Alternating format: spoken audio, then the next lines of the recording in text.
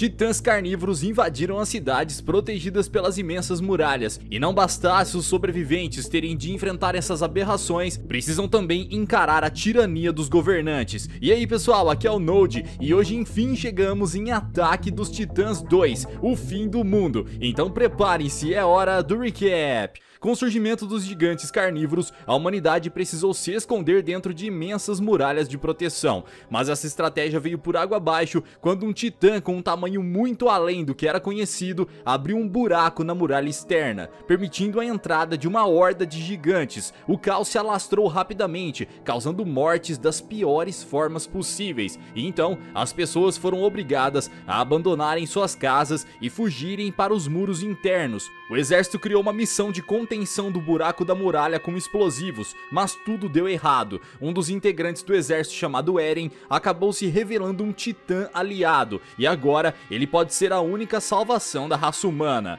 Quando Eren era apenas uma criança, ele foi usado como uma das cobaias de experiência genética por seu próprio pai, que estava obcecado em transformar humanos em verdadeiros monstros de combate. Nessa ocasião, o Capitão Solda, amigo da família, estava presente e levou Eren imediatamente para um esconderijo atrás das paredes da casa pois os altos membros do governo, juntos do general Kubal, invadiram a casa para interromper os estudos do doutor. Assim levaram os pais de Eren e os executaram e ainda queimaram toda a casa da família. Voltando ao presente, Eren acorda assustado e se encontra aprisionado por correntes e cercado por membros da sua própria tropa. O general Kubal entra no local e explica que a humanidade se uniu depois do surgimento de um novo inimigo, os terríveis titãs. E embora os recursos para a sobrevivência tenham se tornado escassos, todos estão mais felizes, pois se sentem iguais. Porém, segundo ele, esse novo poder de Eren, tendo essa capacidade de se transformar em um titã, ameaça essa existência pacífica dos humanos. Um papo furado absurdo. Eren tenta desesperadamente dizer que é um humano como qualquer um deles, mas o general se recusa a permitir que ele continue vivo e ameace sua soberania. A ordem é para que atirem no soldado e acabem com a sua vida. Porém, Armin se destaca entre os membros da tropa e sai em defesa de seu amigo, dizendo que foi Eren com com sua transformação em titã que salvou todo o exército na missão de reconquista da muralha. Ele garante ao comandante que seu amigo será um recurso valioso para a humanidade, lutando lado a lado com os humanos e protegendo a cidade. A capitã Handy Zoe também discorda com a ideia de eliminar Eren, que a bem da verdade, ela tem intenções de fazer experiências malucas para testar as habilidades monstruosas do rapaz. Armin teve um outro plano, ele diz a Kubal que nos campos de agricultura próximos à muralha externa há um imenso míssil desativado. Com a ajuda de Eren, eles poderão pegá-lo para explodir o trecho da muralha e tampar o buraco da passagem dos titãs. Porém sua insistência em salvar o amigo só piora as coisas. O comandante começa a acusar Armin de ser o um misterioso traidor responsável por sabotar a missão anterior e destruir os explosivos. Kubal então ordena que os soldados atirem e Eren continua continua desesperado e implorando que parem com aquilo e lhe deem uma chance de mostrar suas habilidades e trabalharem juntos. Vendo que seus amigos estavam prestes a serem mortos, Mikasa finalmente decide se posicionar contra Kubal, mas o comandante questiona o porquê ela defenderia um monstro como Eren. As coisas saíram totalmente do controle, pessoal. O Capitão Solda grita para todos pararem e começa a explicar sobre as habilidades do garoto. Aparentemente, Eren é capaz de se controlar enquanto é um titã, mas sua consciência desaparece com o avançar do tempo. Antes que o capitão pudesse desenvolver melhor sua explicação, um tiro é disparado bem em seu peito, matando imediatamente Solda, um tiro covardemente dado por Kubal. De repente surge uma explosão imensa vindo de cima, cai do teto um titã desconhecido esmagando o comandante Kubal e os seus soldados próximos. Membros da tropa começam a atirar incansavelmente contra o monstro, mas as balas são repelidas e ricocheteiam na pele grossa grossa do titã. O gigante mata os soldados facilmente com um único golpe e pega Eren em suas mãos. Eles tentam a estratégia do ataque no pescoço da criatura, mas são facilmente bloqueados. Assim como Eren, esse titã demonstra sinais de consciência.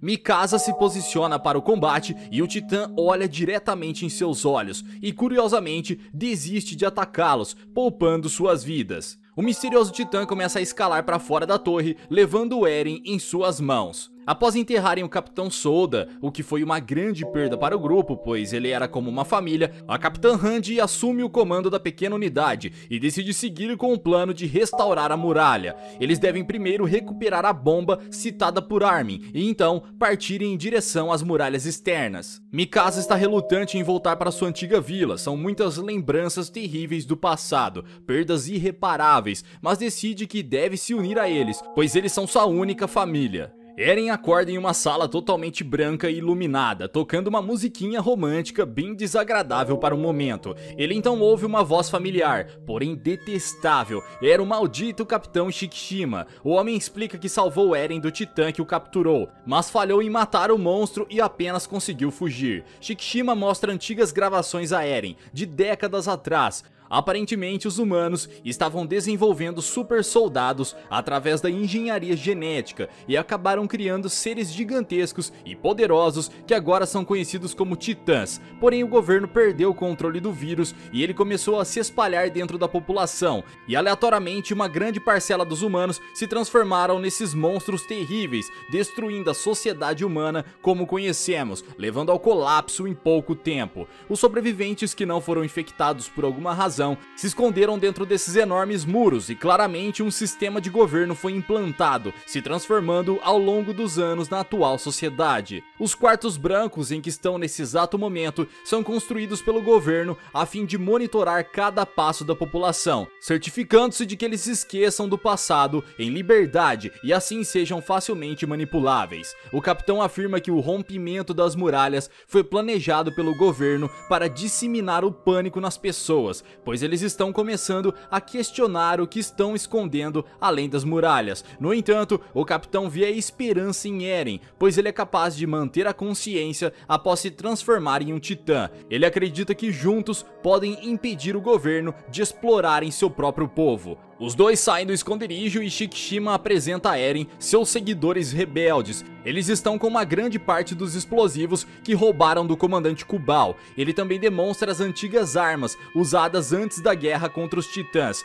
que apesar de ineficazes contra os gigantes, costumavam servir muito bem contra humanos, e isso pode ajudar bastante, segundo ele. Shikishima entrega a Eren um equipamento de propulsão e diz ao rapaz que ele está no controle de seu próprio destino, de agora em diante. Enquanto isso, o esquadrão já conseguiu transportar o míssil para o caminhão e planejam seguir o curso em direção à fenda da muralha antes que qualquer titã notem a presença deles. Mikasa olha fixamente à distância, relembrando os tempos mais felizes quando ela ainda estava com seus amigos e tinha ao menos um pouco de paz. O grupo se dirige à cidade, mas Armin para bruscamente o caminhão quando vê um veículo blindado fechando a passagem logo à frente. Um bando de soldados rebeldes aparecem e apontam suas armas para o esquadrão, e só assim podem ver que Eren está entre os homens suspeitos. Ele se desculpa com Mikasa por deixá-la preocupada e diz que possui um plano para executarem juntos. Shikishima surge repentinamente, como sempre, e começa a examinar o míssil que o grupo resgatou. Para variar, a Capitã Handy fica empolgada, gritando felizona ao ver o arsenal supremo do grupo rebelde de Shikishima e salta para dentro do tanque, caindo de cabeça lá dentro. É, essa é a Handy malucona de sempre. Porém, Shikishima diz que vai confiscar a posse do míssil, ameaçando o grupo grupo com as armas caso eles se recusem. Ele explica seu plano para derrubar o governo. Ele pretende derrubar os muros internos para que os titãs invadam a cidade e matem os membros do governo, desmoronando o atual comando permanentemente. Eren fica chocado com o plano do capitão, pois ele pensava que eles iriam usar os explosivos para consertar o muro. Ele questiona sobre as vidas das pessoas que vivem dentro da cidade, mas Shikishima acha que eles merecem a morte, pois são culpados de permitirem a existência de tal tirania e aceitarem calados. O capitão diz a Ellen para abandonar seu passado e aderir à causa rebelde, mas o rapaz começa a se lembrar de todas as mortes e o sofrimento que passaram por causa dos titãs. Ele grita em fúria e diz ao capitão que se recusa a esquecer seu passado. Ele parte para cima de Shikishima, mas é jogado no chão imediatamente. Eren se levanta e tenta atacar o capitão novamente, mas o homem se esquiva de todos os seus ataques e ainda desafia o rapaz a se transformar em um titã, enquanto Eren continua insistindo em levar uma sova do capitão. Os ataques de Eren são completamente inúteis, sempre acaba de cara afundada no chão. Mikasa pede ao capitão que pare de bater em seu amigo, mas Shikishima apenas ri e desfere um chute na garota, o que deixa Eren fora de si, estupidamente tentando pela milésima vez atacar o capitão e acabar sendo humilhado por ele. Armin tenta traçar um plano de ataque então Sanagi observa uma torre de pedra que parece bem instável. Antes que Shikishima pudesse enterrar sua espada em Eren, uma maçã bate em sua cabeça. Armin está gritando com o capitão e ameaça explodir todos em volta, usando uma engenhoca que ele mesmo criou. Seus companheiros pegam Eren em segurança e o levam até o caminhão, mas o capitão não acredita na ameaça de Armin e tem certeza que ele está blefando com um dispositivo falso. E fala para sua tropa de rebeldes que se preparem para atirar em todos. De repente, um gancho passa pelo rosto do capitão e atinge o pilar de pedra. Era Sanagi que salta à frente de todos e começa a puxar a estrutura para baixo. Ele grita para Armin fugir e continua puxando com toda a sua força. O capitão dá o comando e as tropas disparam contra o soldado que é brutalmente ferido, mas ainda continua puxando e consegue derrubar o pilar bem em cima do caminhão com explosivos. O grupo aproveita essa oportunidade para escapar da imensa explosão que quase acerta o míssil na carroceria, mas enfim conseguiram fugir a salvos, com a dor de terem mais um amigo morto. Mas não pense que está tudo bem, Shikishima está vivo e continua sua insistência de querer levar o míssil com ele. E como será que ele vai fazer isso? Para surpresa de todos, o maldito tira sua espada e crava em seu próprio peito, o que faz surgir inúmeros ossos em suas costas, uma onda de energia roxa envolve o capitão e ele inicia uma transformação bizarra em um imenso titã. Armin olha para o gigante em estado de choque e percebe que o capitão foi o monstro responsável por ter levado embora seu amigo e matado o comandante. Eren também quer cravar a espada em seu peito e se transformar em um titã, mas Jean o impede, pois eles não sabem se isso vai realmente funcionar. Ele diz a Eren que, ao contrário de Shikishima, ele não está sozinho, eles são uma irmandade trabalhando juntos e derrotarão o maldito monstro. O titã blindado caminha em direção ao grupo e continua demonstrando seu poder colossal, destruindo facilmente dois outros gigantes na porrada. O esquadrão avança em direção ao titã, usando algumas estratégias para distraí-lo, Sasha aproveita a oportunidade e atira uma flecha explosiva no olho do demente, cegando-o por pouco tempo. Jean voa ao redor do monstro e o ataca no seu ponto fraco, entre as carapaças, enquanto Mikasa corta fora os dedos daquela coisa. Eren voa por baixo do monstro e corta seu tendão, fazendo com que Shikishima caia de joelhos. Jean vê isso e voa em direção ao gigante, tentando desferir o último golpe letal em sua nuca, mas o titã se vira para acertá-lo. Eren consegue chutar seu companheiro de equipe, salvando-o da morte, mas é amacetado com um soco nos prédios. O gigante se vira e segue em direção ao míssil, mas antes de poder agarrar o explosivo, ele nota uma explosão de energia verde. Era o soldado Eren se transformando no titã após quase ser morto. Os titãs gritam ecoando um som ensurdecedor e partem para cima um do outro, trocando socos colossais, mas Eren logo fica em desvantagem, já que seus golpes não danificam a armadura de Shikishima. O titã blindado passa a dominar a luta e derruba Eren no chão, com um chute devastador na cabeça cabeça. Shikishima caminha em direção a ele planejando finalizar seu oponente, mas o titã guerreiro agarra uma hélice de helicóptero ao seu lado e crava em seu inimigo. O ataque quase corta o titã blindado pela metade, e Eren reúne todas as suas forças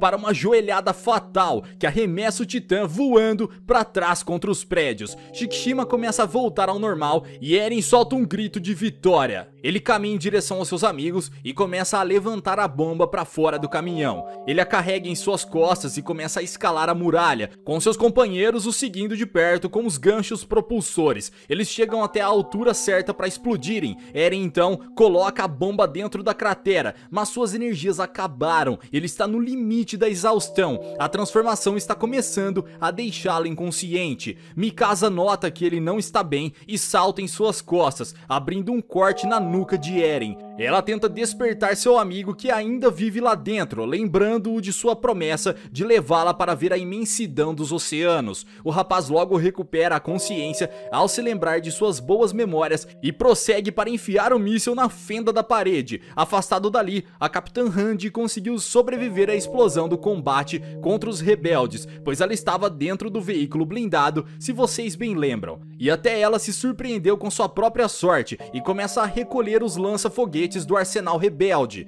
Porém havia outro homem misterioso a seguindo, e quem seria esse galera? Mikasa consegue remover Eren do interior do Titã e Armin já conseguiu instalar o cronômetro no explosivo, configurando-o para explodir em 5 minutos. Quando a equipe está prestes a se mandar daquele lugar, vem o maldito comandante Kubal de pé e vivo bem em cima da muralha. O canalha de alguma forma sobreviveu ao ataque dos titãs e tenta subornar o esquadrão se deixarem a muralha como está e entregarem Eren aos cuidados do governo. Obviamente a equipe se recusa em fúria o que leva o comandante a atirar contra eles, atingindo diretamente em Armin. Kubal grita que não há nada do lado de fora. Ele insiste que o povo precisa viver confinado na muralha para ser feliz. Antes de terminar seu discurso, ele é atingido por inúmeras flechas disparadas por Sasha e cai de costas. É pessoal, mas para surpresa de todos, Kubal também começa a se transformar, se erguendo naquele titã colossal que destruiu a muralha há dois anos atrás. A equipe avança em direção ao gigante para vingarem todos seus amigos e familiares mortos, mas é difícil se aproximar daquele monstro, pois o titã expele altas temperaturas do corpo. O colosso tenta capturar o míssil e impedir a explosão da muralha, enquanto o cronômetro continua na contagem regressiva. Jean ataca o titã tentando impedi-lo de destruir a bomba, mas é morto por um único golpe do monstro. Inacreditável, pessoal. O gigante se vira em direção a Eren e tenta agarrá-lo, mas é atingido por um míssil disparado pela Capitã Randy. Kubal ainda tenta alcançar a bomba, apesar de seus ferimentos. Eren novamente tenta uma investida, voando para as costas do Colosso. Ele sobe para mais perto do comandante e quando o cronômetro chega ao último segundo, surpreendentemente nada acontece. O maldito titã foi capaz de danificar o detonador e Mikasa precisa agora correr em direção à bomba para tentar consertá-la, mas não tem ideia do que fazer. É, e vejam mais uma surpresa, Shikishima sobreviveu à luta contra Eren e aparece atrás da garota, zombando dela como de costume, e joga Mikasa no chão. Ele está desapontado com a humanidade por escolherem a segurança em confinamento ao invés da liberdade, pois percebe que viverão eternamente em função de reparar a muralha. Mikasa tenta convencer o capitão de que ele ainda pode libertar a humanidade se destruir a tirania que está oprimindo as pessoas, ou seja, Kubal. Bem, Eren conseguiu se aproximar do Titã apesar de sua alta temperatura e abriu a nuca do bicho para acertar Kubal. No entanto, Eren é puxado pela mão enorme do gigante antes que ele pudesse dar o golpe final. No momento em que o colosso está prestes a devorar o rapaz, Shikishima surge transformado em titã, escalando a parede rapidamente enquanto segura o míssil, o que faz Kubal soltar Eren e partir para cima do outro titã. Shikishima agarra o míssil e o empurra direto para dentro da boca do titã colossal, causando uma enorme explosão que destrói os dois juntos. Uma reação em cadeia leva a uma segunda explosão que quebra a parte superior do muro, causando uma chuva de blocos de concreto. Eren tenta desesperadamente escapar daquele caos, ele foi arremessado no ar pela onda de choque, mas é salvo por Mikasa, que se recusa a perder o amigo, e as imensas rochas enfim selaram o buraco da grande muralha. Eren e Mikasa escapam da queda e sobem no topo do muro. Apesar de todas as perdas, a missão estava completa. Eles finalmente conseguem ver o oceano ao longe e ficam maravilhados com sua beleza. Porém, não perceberam as câmeras que os vigiavam secretamente pelas costas. E uma voz robótica revela que há planos para os dois no futuro. E ao menos por enquanto, a jornada contra os titãs estava encerrada. Vejo vocês no próximo recap aqui do canal. Até lá!